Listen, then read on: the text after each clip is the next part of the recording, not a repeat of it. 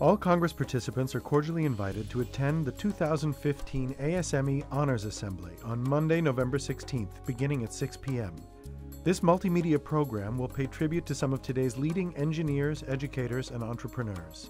The event will be held at the Hilton Americas in Houston, and admission is free to all Congress attendees.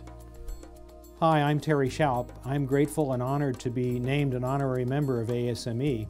I'm hoping that you'll be able to join me and the other award recipients at the Honors Assembly in Houston. My name is Ramesh Batra. I'm deeply honored to be named an honorary member of ASME. It's a dream come true.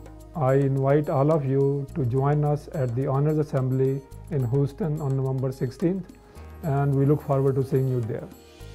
So make plans to join us for a celebration of engineering at this year's Honors Assembly beginning at 6 p.m. The event is free to all Congress attendees, as is the reception, which begins at 5 p.m. Please join us.